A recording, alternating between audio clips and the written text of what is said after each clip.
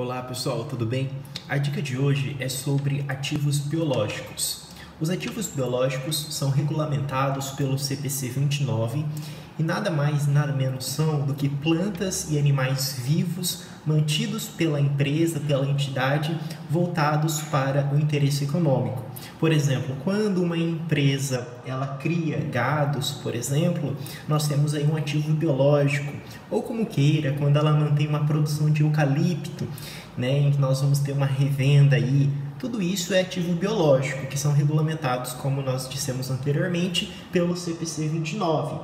Entretanto, existem os ativos hospedeiros que não são regulamentados pelo CPC 29 e sim pelo CPC 27, que na verdade são é, os frutos desses é, animais, dessas plantas. Por exemplo, uma laranjeira produz laranja, então laranja, a laranjeira vai ser o ativo hospedeiro.